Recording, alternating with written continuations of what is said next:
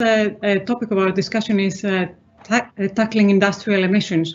And for this discussion, we have uh, a nice panel. Uh, we have our colleagues, uh, Professor Martin Trusler, Dr. Bemi Oluleye, and Dr. Mai Bui, discussing this topic. So if I may ask Martin, Bemi and Mai to introduce themselves briefly first, then we will get started with the main discussion. So should, we'll go in order. Good morning, everyone. I'm Professor Martin Trusler from the Chemical Engineering Department here at Imperial. Uh, I'm a specialist in fluid physical properties, which is a very generic area, but much of my research is directed towards energy issues, towards uh, carbon capture and storage, hydrogen, uh, and the like, and it's a pleasure to be here today. Bemi. Good morning. Uh, my name is Bemi. I'm a lecturer in the Center for Environmental Policy. Uh, my expertise and my research group tackles industrial decarbonization, but from a demand side perspective, where we develop bottom-up models of the industrial processes and their associated energy systems. So looking at steam generation at different pressure levels and power generation. And with these models, we're able to integrate low carbon technologies or industrial decarbonization concepts in a bid to create a demand um, on a plant, on several plants in an industrial site or where you have several industrial sites in a cluster. And from there, we have uh, we partnered what I called market potential analysis to look beyond the boundaries of a cluster to several industrial clusters to create a market. And using this framework, we're able to quantify the impact of policies and business model in increasing adoption of industrial decarbonization concepts in a bid to create demand uh, for these concepts from these bottom-up models. Thank you. Mai. Hi everyone, uh, my name is Mai Bui. I'm a research associate here at Imperial College at the Centre for Environmental Policy. Uh, my background is chemical engineering and, and, the work that I do is focused on uh, looking at a technology called carbon capture and storage and applying it to different applications. So uh, looking at the power sector and its role there, industrial um, processes and decarbonising those, uh, and also a technology called greenhouse gas removal. So we've done a lot of work on bioenergy with carbon capture and storage and also this other technology called direct air capture and trying to understand the techno-economic potential of these technologies and also demonstrating them. And so we've done some uh, demonstration uh, testing work in Norway, uh, looking at large scale uh, operation of a carbon capture and storage process and how it works and understand um, how we might operate these things. So looking forward to the panel. Thank you, Mai. And just to introduce myself, uh, uh, so I'm a professor of environmental engineering uh, in the Department of Earth Science and Engineering, as well as being one of the two co-directors of Energy Futures Lab. And my own research focuses on risk assessment and life cycle assessment of engineering uh, systems. And I have worked uh, for many years on uh, industrial systems and particularly the energy aspects of this. Uh, so uh, to start with, I would like to explain to you why we uh, take a special view about tackling industrial emissions and uh, why this is um, uh, quite important. So if you look on the left-hand side of the slide, you will see from a recent report that was published by the International Energy Agency how the global energy-related CO2 emissions vary by sector. you can see in the yellow in color there the industrial emissions, which are 23% uh, of uh, the total.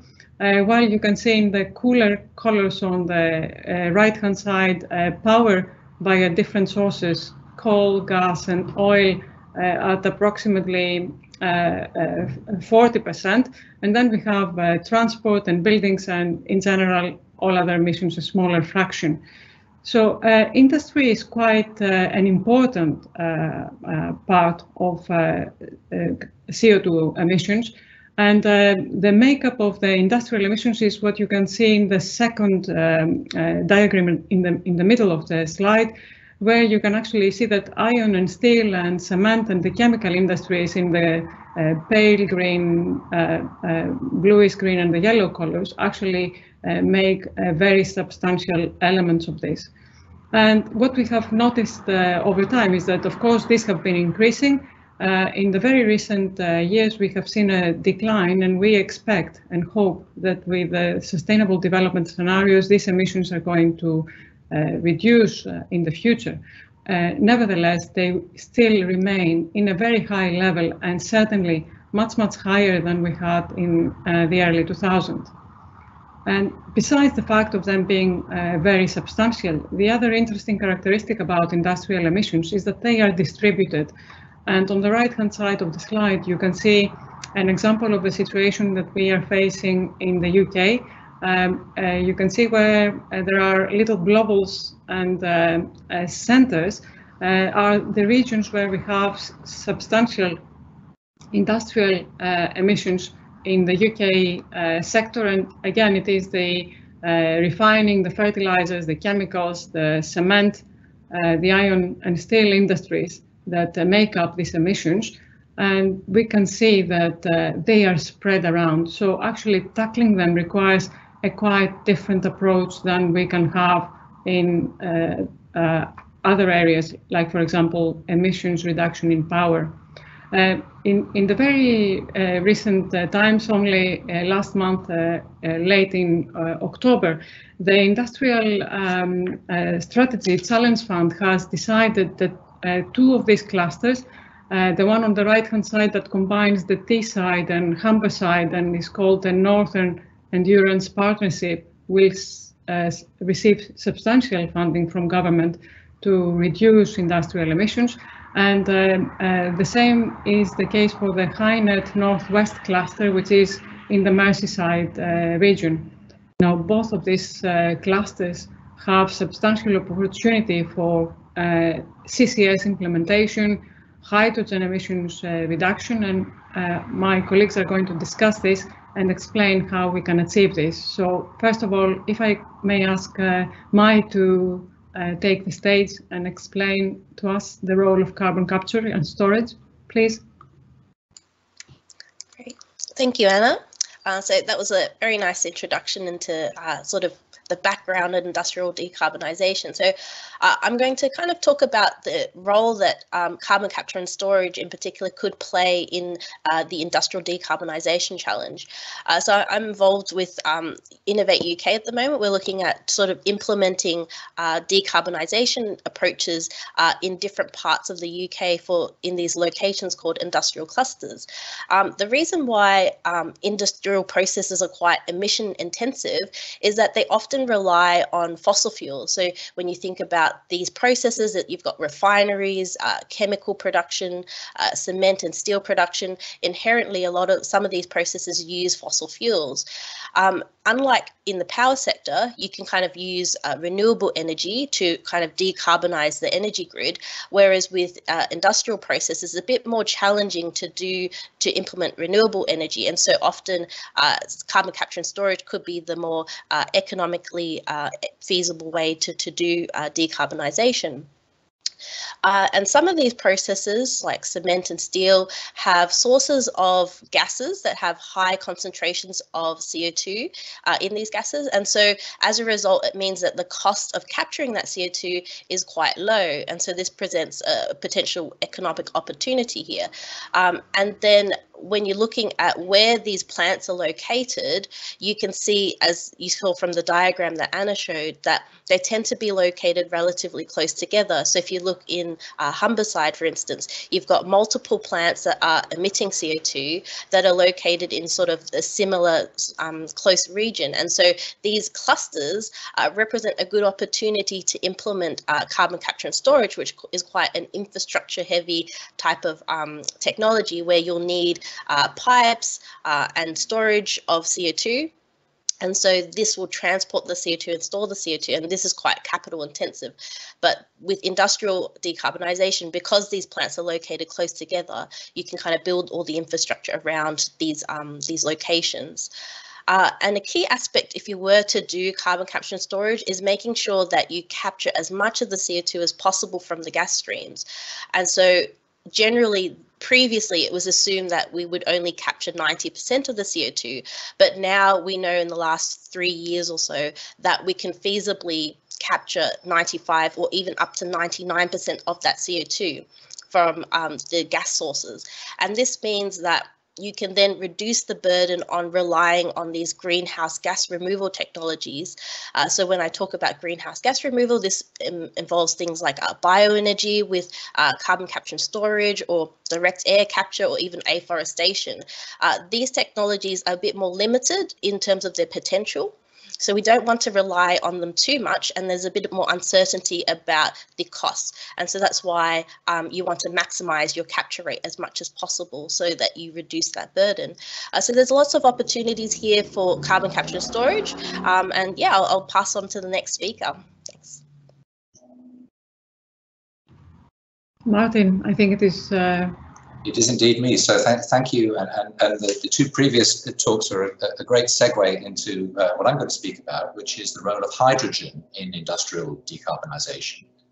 And we've already seen here that a, a, large fraction of the CO2 emissions, especially in the UK, uh, are distributed and they're associated with heating and, and, and transport uh, mainly. So in brief, if you look at the built environments and, and how we can decarbonize heat, we have choices. We have electric heat pumps and, and we have hydrogen fired boilers. So we've heard a lot about heat pumps recently. These can work well in um, commercial domestic situations because the heat required is at quite low temperature and heat pumps are very efficient. So for every joule of electricity you expend, you get three or four joules of heat. So this is wonderful. Hydrogen fired boilers are also known to be entirely feasible and, and several studies have shown uh, conversion of a local distribution system and also domestic and commercial heating equipment to 100% hydrogen is quite achievable. In the transport sector, we're already seeing a rapidly expanding fleet of electric vehicles, and we have the potential for using hydrogen fuel cell vehicles. Uh, hydrogen looking particularly promising for heavy transport, trucks and trains, uh, where batteries may not be practical. However, we're talking today about industrial decarbonisation much of which is associated with industrial heat. So in contrast to space heating and the like, uh, many industrial processes require high temperature heat, which is best provided by combustion of a fuel. So here, hydrogen could be pivotal. pivotal sorry. So conversion of industrial furnaces to hydrogen is certainly more complex than converting, let's say, a small boiler. However, projects such as Hy4Heat have demonstrated that this is a feasible option in contrast, the heat pumps that may be good in, in other situations have limited utility in industrial situations because of the requirement for high temperature heat. And you really want to avoid direct electrical heating because that only makes sense when you reach a, largely renewable electricity system. Uh, and even then, uh, a lot of electrical heating may place excessive burdens on the grid. Therefore, there's a clear case for using uh, hydrogen production and distribution to help decarbonize industry. So the slide you can see on your screen here outlines the main components of such a large-scale hydrogen infrastructure. In the medium term, we can anticipate that such a network would be fed by a combination of green hydrogen, that's hydrogen produced by water electrolysis powered by renewable electricity, and blue hydrogen produced from natural gas with carbon capture and storage. So these complementary production methods can be integrated into a new high-pressure hydrogen distribution system connecting the key industrial hubs that Anna showed us around the UK. New pipelines may be required to facilitate these, although existing low-pressure polyethylene pipe can be repurposed from natural gas to hydrogen for the low-pressure part of the distribution system. So, blue hydrogen, as you know, produces a waste stream of CO2 and also several key industrial processes intrinsically produce CO2 irrespective of the fuel which is used to power them. Therefore, in the hydrogen infrastructure, we also need a CO2 capture, transportation and storage capability to serve industrial clusters in which hydrogen is both produced and used.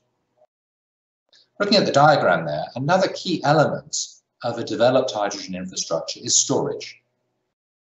Compared to the current natural gas system, where line packing provides most of the storage, larger storage capacities are going to be needed for hydrogen. Uh, these reflect the intermittent uh, nature of renewables, which necessitate a larger buffer in the system. Salt caverns and uh, geological storage, for example, in the porous rocks of deep aquifers are options here. Now let's turn to research. Many of us advocate learning by doing. This process will refine engineering practice and other technical and non-technical aspects of industrial decarbonisation. However, research is also very important and is needed to advance the fundamental understanding uh, in a way that will help drive down costs, minimize environmental impact, and help ensure that we get a safe, effective, and economic uh, uh, process infrastructure. My own area of interest focuses on the stuff that passes through the network you can see here, the gases that are transported, stored, and utilized, and the myriad of fluid systems that are encountered in processes such as hydrogen production, CO2 capture, and underground gas storage. Uh, the properties of fluids are a classical area of research, but the need for sound quantitative understanding here and the existence of significant knowledge gaps has brought the field into sharp focus. Other colleagues specialize in materials, materials for separating gases, membranes, organs, etc., materials of construction, and materials for catalysis. So I'll conclude my, my uh, comments with the observation that the fields of fluid and material properties are one of the key research areas, along with many other things, required to underpin our vision of a decarbonised industrial sector. Thank you, Martin. And um, now I will I would like us to think a little bit uh, more about the bigger scale and uh, discuss about supply chain emissions. Uh, so as uh, uh, Martin uh, mentioned, quite a lot of our uh, fuel that is needed to power our industry uh, comes from overseas. we receive quite a lot of natural gas that may be produced in the North Sea. we receive natural gas in the UK that is transported from Qatar. We also receive natural gas from Russia and the US via LNG. Now, what we have uh, realized is that uh, actually all these uh, different uh, products, which might be of very similar quality when they reach our source, actually arrive to our source with a very different carbon footprint. And this different carbon footprint, in fact, we can actually quantify. Uh, so we use um, uh, life cycle assessment uh, methods to allow us to evaluate accurately the supply, the supply chain emissions, not only for natural gas, but for any any commodity or any any fuel that uh, we need in our industrial uh, uh, production. And uh, you can see on the left-hand side, as an example, how the a number of different global value chains compare with one another in terms of the CO2 footprint per megajoule of natural gas that is delivered to market. And you can in fact see that uh, we have up to a, a, scale, an order of magnitude in scale difference between uh, uh, different sites. That is uh, quite important and, and it is very important because we need to understand how we can actually reduce this. Uh, by looking at the specific uh, processes that uh, are part of the value chain in production, in transport, as well as in power generation downstream when we use these fuels in industry is critical.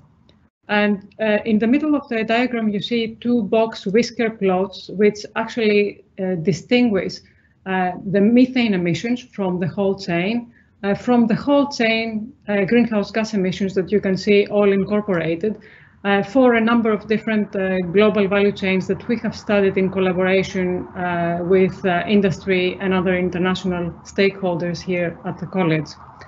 And you can see that the, the, the methane emissions vary quite substantially. And as you know, methane is much more potent greenhouse gas than CO2 and it is essential to tackle it.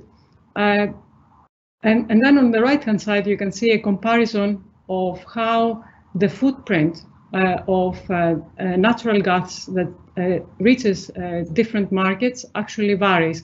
And maybe a little bit of an explanation why in the recent COP26 discussions we have seen a lot of resistance from Australia to reduce their uh, uh, to, to, to improve on their targets. And we have also seen a move in North America. Um, the US president announced that methane is going to be tackled quite substantially, and this is an important priority.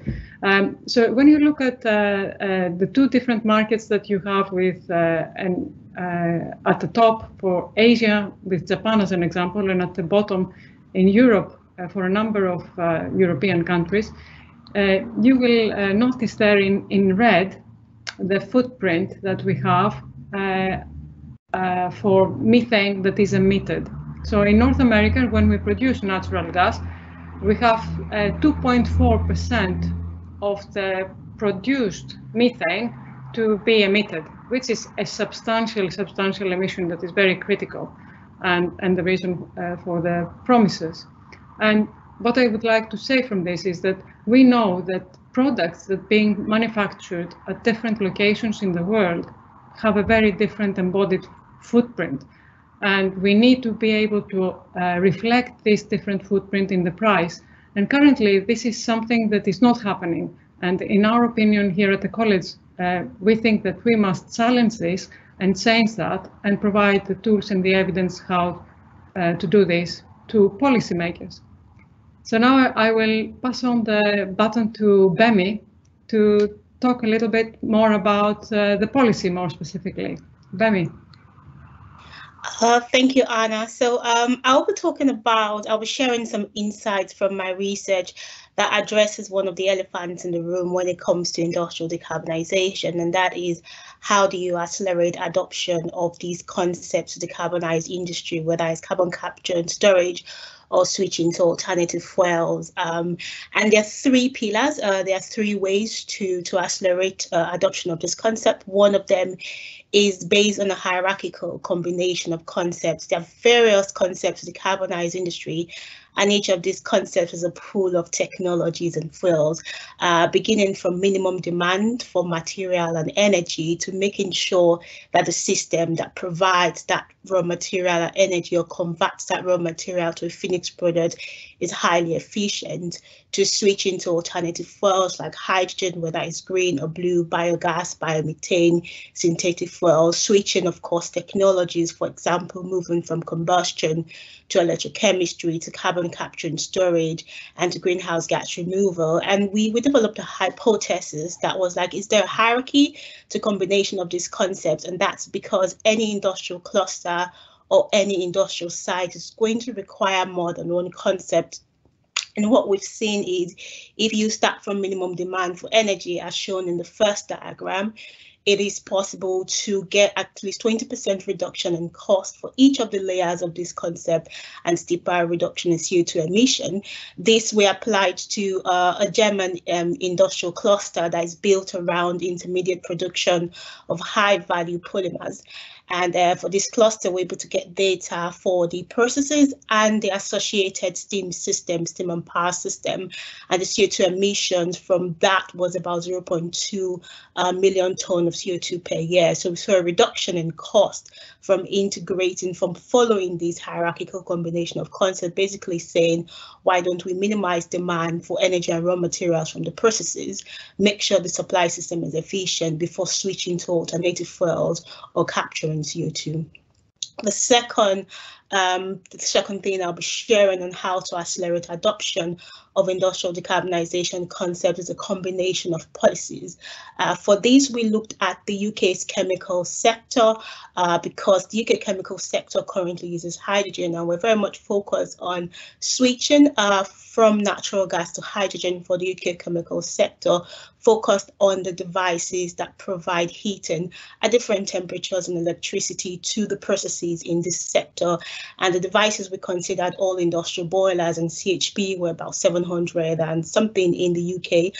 Um, and the total ideal demand for hydrogen was about 22.8 terawatt hour. So build a superstructure of these um, of these technologies that make up the market and found and we're trying to look at how do we accelerate adoption from where we are, which is zero. None of these devices are currently on hydrogen except for those that have been demonstrated uh, to 100% adoption of hydrogen and how would the interplay of policies affect this. So looking at market-based instruments like uh, a disincentive like carbon tax and an incentive similar to a renewable heat incentive where there is a payment for every clean uh, heat generated from hydrogen hydrogen or a payment for every clean electricity generated from hydrogen using the existing uh, systems. And what we saw is if a carbon tax is the only uh, policy incentive to to support a change, it's more expensive. But when you have a combination of policies, so an incentive uh, like a heat incentive and a disincentive like a carbon tax, it could lead to about 33% reduction in the cumulative cost of the transition. So not just for policymakers, but also for industry. But what we also saw that was important is the switch from blue to green hydrogen uh, by this sector. So today, blue hydrogen is, is cheaper than green hydrogen, but green hydrogen has more potential for cost reduction, and that's because the technology is less mature than uh, blue hydrogen, so the learning is higher. And we saw that after about a demand of seven terawatt hour, the devices in this sector will switch their demand from green, from blue to green hydrogen, which is depicted by the green bar. So what to take from this second diagram is a combination of policies required to accelerate uptake. The third thing to accelerate adoption of these industrial decarbonization concepts is a combination of policies and demand side business models. Now, policy support uh, will change with time depending on governments, um, but demand side business models are how industry how a site or a plant defines the value they are generating or how they define their competitive strategy. And we looked for this uh, third highlight, we looked at CCS integration in integrated iron and steel plants globally. So we looked all over the world, there are about 400 integrated iron and steel plants, and then we model the market around these integrated iron and steel plants, and they're located in about 38 countries. And in each of these countries, there are, you know, talks of policies to support CCS, such as uh, a carbon tax, grants.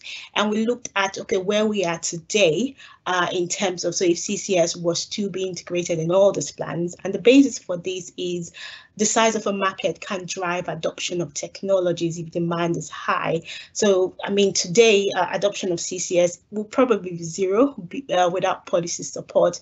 But if you look at the existing interventions in each of these countries, we saw that we could only guarantee a market share of about 3.6% globally uh, for CCS. And what we did again was to use to reformulate the interventions in these countries to see and the business models offering around CCS to see how to increase the adoption and then we're able to increase the adoption to about 63%. Of course, we didn't look at the 99% uh, capture rate. We looked at 63% capture rate because that's the that has been demonstrated in in most countries, uh, and and and and the cost for these uh, capture about 87.9. Hopefully, with 99% capture rate, we'll see an increase in adoption and a lower requirement uh, for policy. So what what I can say in summary is, in order to accelerate adoption of industrial decarbonization concept, one of the things to look at is how these technological innovations are combined on the site. There's a hierarchy to it.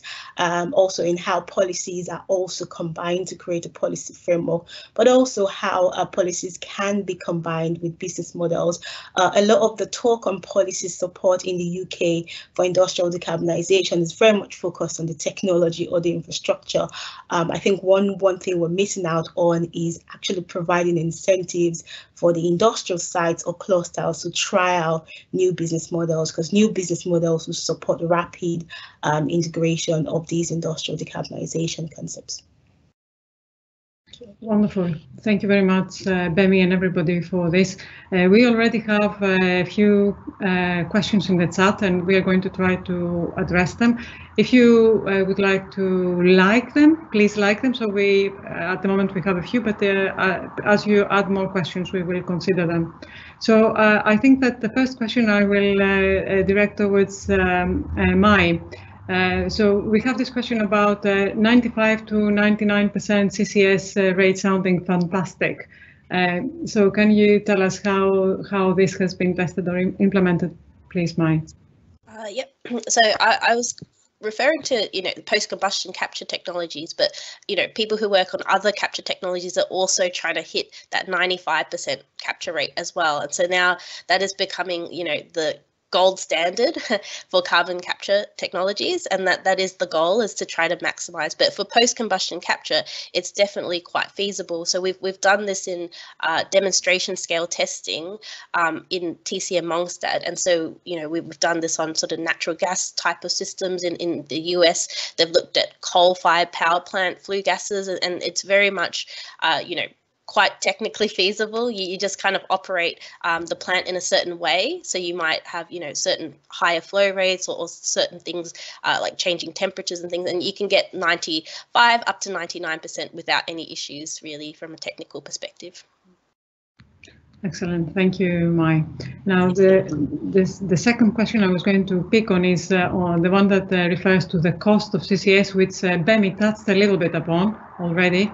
So Alex Lagakos is asking uh, for a cost uh, indication which uh, Gbemi has provided. Was it 79 uh, dollars, US dollars per ton, Gbemi? If I the, the cost is very much dependent on the capture rate. So the capture rate I used in my case study was 63% and the cost was about 88 uh, pound per ton of, of CO2. So so I, I think at a higher capture rate, um, the cost would probably be higher. Um, Mai can confirm, or it could well be lower if, if there are a lot of technological um, innovations. I think the question was like, at what project scale does CCS make more financial sense than than switching to, to green hydrogen? Um, at the moment today, uh, CCS makes more financial sense than switching to green hydrogen because green hydrogen is more expensive for the same use. But in the future, I think in the future, we're looking at from 2035, uh, green hydrogen could be competitive for CCS for the same use because there are other uses of CCS that you can't use hydrogen, or green hydrogen for. So green hydrogen will definitely be competitive um, in the future. I, I, will I will target this to Martin, but before before I do to, to talk us talk us uh, through the the hydrogen uh, comparison, uh, I, I, would say that uh, in the recent report uh, from IEA published in 2020, uh, the power generation and cement and iron and steel were all under 100 US dollars per ton, as compared to direct air capture, which was something like, if I recall correctly, from 130 up to 340, 300. $30 uh, per ton. And if we contrast this uh, with uh, hydrogen production from uh, steam methane reforming, which is somewhere in the range of 50 to 75, 80 uh, dollars uh, per ton, we can actually see how the different technologies do compare. natural gas processing, which is the area where CO2 capture is currently practiced at the industrial scale, obviously it's much cheaper, in something like 20 to 30 dollars per ton. Uh, but I think uh, Martin will probably uh, be able to tell us uh, a little bit more about the financial sense of switching between the hydrogen and CCS. Well, what I was going to comment on actually first was to pick up from Mai's comments. And I, I think uh, when we look at steam methane reforming or autothermal reforming, those processes also can be operated at very high capture rates. On the other hand, we need to keep in mind if we're using natural gas as the feedstock to look at the CO2 emissions from the entire supply chain. And the studies, uh, and, I should say techno-economics is not really my area, but the studies have, have been done on this show that there are actually significant upstream uh, emissions. So this is something that we definitely need to tackle, the methane emissions, and also there's the question, you know, with hydrogen, is it better for us to ship methane from the other side of the globe and make hydrogen here in the UK, or should we make the hydrogen in Australia or Indonesia or Qatar and ship the hydrogen? I think that the jury is still out on that. This is a very important uh, thing for us to be looking at. Excellent. Yes, absolutely. Um, and um, uh, this uh, relates to the question that Abbas had about uh, ways to produce hydrogen and the supply uh, through the network and the cost, uh, whether they are comparable. Um, okay, so um, uh, can we say about uh, uh, something about how promising is to use hydrogen in the different industry sectors uh, that we have here in the UK? Can we have a little debate about that? Who, who would offer to have a first go?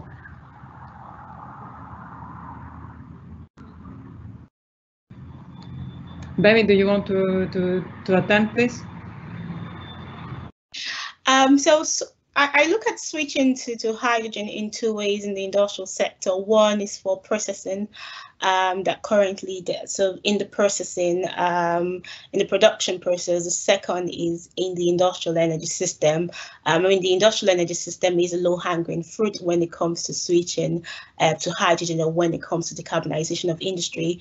And what we, if we see the breakdown of emissions from the process and industrial energy system, we see combustion emissions are responsible for over 40% of industrial CO2 emissions, going to as high as 60% in the chemicals and petrochemical industry. So I think hydrogen has a huge role to play um, in, in, in decarbonizing the industrial sector. Um, I see it has a huge potential um, and, and I see switching to hydrogen as, as something that can be done, something that is feasible. And that's because the energy intensive sectors, most of these uh, subsectors currently use hydrogen, so they understand um, how to use hydrogen. So I'm, I'm a big supporter of hydrogen. The only thing that um, makes me worry is the balance of green and blue hydrogen, because uh, there's no point creating a, a, a, an infrastructure for blue hydrogen if the future is going to look like green hydrogen, or in other words, how do we formulate a, a regulation to make sure that the infrastructure for blue hydrogen does not become obsolete when the market switches to green hydrogen because green hydrogen is something that can be produced in a distributed way. It doesn't have to be centralized. Um, electrolyzers can be located close to where they are needed. Um, I, I guess the intermittency, of course, uh, it's likely that we'll need elements of blue hydrogen uh, for, for a long time because of the, the probably impossibility of having enough buffer storage capacity to see you through extended periods where renewable electricity is in short supply. So in my opinion, we're, going to need blue hydrogen for a substantial period of time. Yeah, we, we also need the, the, the technology proof uh, as well, because uh, of course we can produce uh, hydrogen, but uh, until now the amounts that are being handled are relatively small as compared to the amounts that would be necessary to operate with a reliable feedstock, large, large industrial processes that consume vast amounts of energy. And I think the scalability of the, of the hydrogen production and utilization in industry is also something that needs that the jury is still out on that how how uh, quickly it can be done and considering the safety issues as well. In clusters that have complex complex uh, facilities uh, closely collocated infrastructure and often reasonably close to um, uh, big uh, cities big cities and facilities that the general public may use. Yeah, I think the hydrogen will do well at sort of um, decarbonizing the heat requirements for industrial processes, but th there are inherent carbon um, requirements in some of these processes, like uh, for steel production, you know, the coking coal that's used, for instance, and that that's going to be much harder to kind of deal with. And so other opportunities could be looking at, you know, biomass alternatives, which might be much more lower carbon intensity, uh, but these are still also quite untested and, and they're kind of more uh, theoretical at the moment. Uh, but I, I think that we'll have to kind of explore other alternatives as well, and not just using hydrogen, but you know, if we were to reach net zero uh, as the target that the UK has set themselves, we got we have to kind of really analyze all the potential carbon sources and trying to think about the options and solutions for each of those uh, different streams. Uh, thank you, Mai. Now, I, I see uh, Yvette Stevens has put an interesting uh, question in the chat for us, uh, which uh, all of us can reflect uh, regarding the short time frame for reaching the 1.5 degree target. how optimistic do we feel that industries would conform in time to reach this target in the future? Um, can we focus specifically on the in the UK industry to start with, but also discuss a little bit more generally uh, uh, in the future. Would Martin want to take a first uh, cut? Okay, I, I, think the answer to this is, is about feelings rather than about facts. Uh, the facts will will be whatever they are. I, am a little bit pessimistic. Um, we are making a lot of the right noises in the UK, and when we are, we're getting on with some things, we may even be a bit of a leader. Uh, but I'm not especially optimistic that we're going to get things done. I mean, it's going to be the 11th hour and the cost will be higher. And you know, I just feel this is how humans behave. So optimistic that we won't destroy the planet completely, but uh, you know, a little pessimistic about us doing the right things right now. Thank you, thank you, Martin. Uh, Mai, do you want to have uh, your your feelings? I think I'm a bit more optimistic than Martin. Uh, so I, I feel at least in the UK, there is the right signals that are happening. And so, you know, from government, they, they have kind of set out, you know, funding that's encouraged, you know, support also from the private sector. So if you look at, you know, all the people kind of banding together with the industrial decarbonisation challenge and you know they've set themselves fairly ambitious targets of you know doing a net zero cluster by 2030 for instance and so if we can kind of at least get one cluster decarbonised that will then provide you know an example of here it can be done then you know hopefully around the world people will start doing industrial decarbonisation because we can kind of show you know a key example of it being done uh, well i guess so the uk in some ways is leading the way in that effort and so hopefully you know people will kind of take that momentum and go forward with this uh, thank you Mai. Uh, all right, so um, if I may answer this question, building on learnings from technology innovation. So we have less than 29 years to 2050.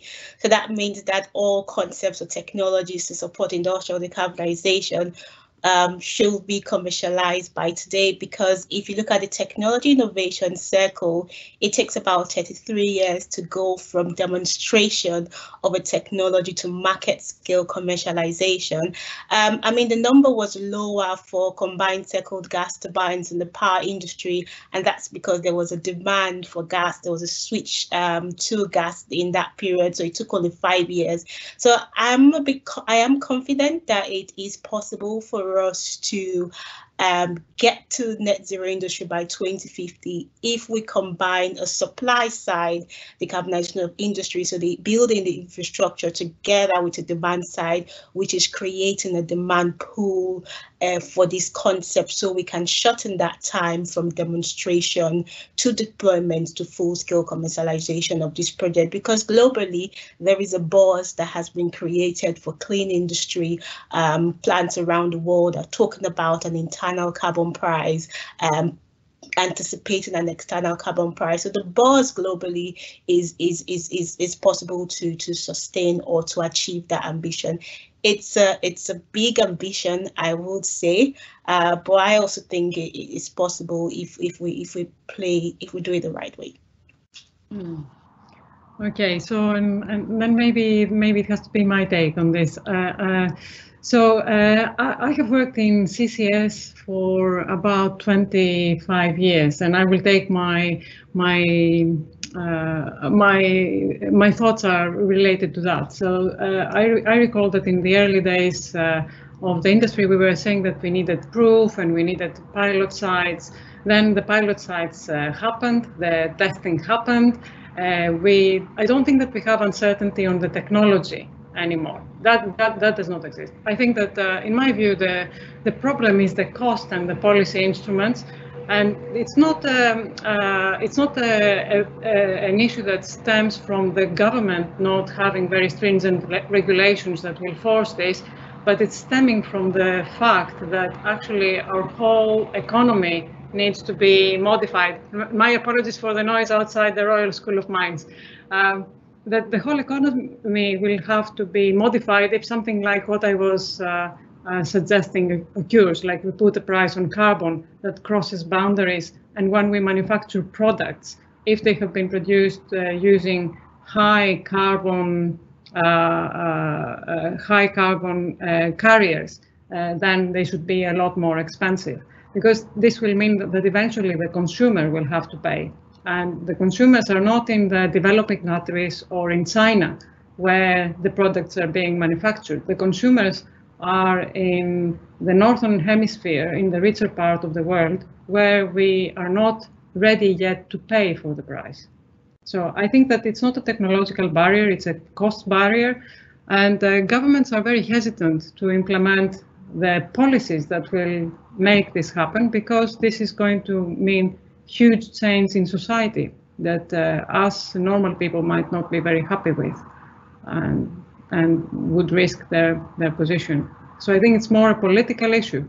Um, and uh, I don't have a solution. I think that uh, in academia, in places like Imperial College, uh, we have outstanding research in all the different subject areas in energy efficiency, in CCS, in hydrogen production and use, in the chemistry and the materials that are needed to uh, uh, enable these uh, technologies. And uh, um, we just uh, need to see that society actually demands that this happens. And when it happens, that happens, I think there will be no barriers. Martin, you just you... yeah, just comment briefly. I mean, it's interesting. We, we we all agree on the technical feasibility of decarbonising industry, and for the most part, we have a pretty good idea of, of what it will cost uh, and what the risks are, and it, it's actually surprisingly well quantified. Uh, and what we need in, in many ways is to incentivize industry and business to put these things into action because as soon as it you know, becomes profitable for business to tackle these problems, if you can make money out of it, the companies will be falling over themselves to change the business model. They'll be very quick to recognize that opportunity. And it's, it's that incentivizing. It's more than just business and industry, it's the whole of society, but incentivizing to make the right things happen that we probably need to be addressing as a high priority.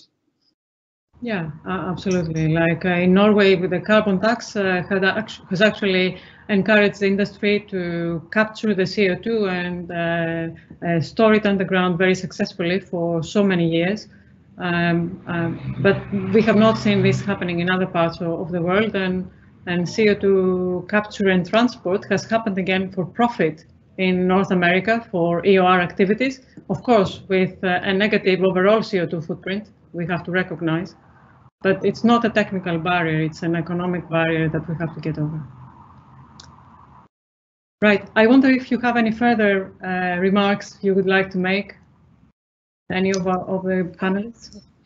I think I'd like to just also recognize that, you know, companies are also voluntarily, you know, announcing things that, you know, there'll be net zero and and that's kind of there's this voluntary market that's kind of being created with this attachment of this net zero um, sort of label. And hopefully that will, you know, they actually follow through with these ambitions and commitments. But it, it's now created this sort of voluntary market for, you know, CO2 removal offsets, which, you know, we never thought that would kind happen, but now people are voluntarily paying uh, to offset emissions. And so maybe the, there is some hope that, you know, if this is a sustainable model, that will kind of then generate sort of demand to try to, you know, implement decarbonisation efforts within their companies. So then they then reduce the cost of paying for offsets you know maybe it all kind of fits together somehow but you know there's the policy side but i feel that you know there's a voluntary side as well that kind of might work together to kind of meet this net zero target eventually.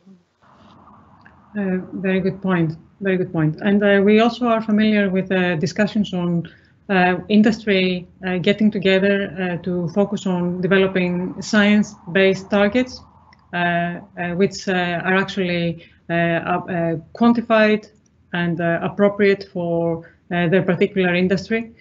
Um, and so that is an important um, advancement.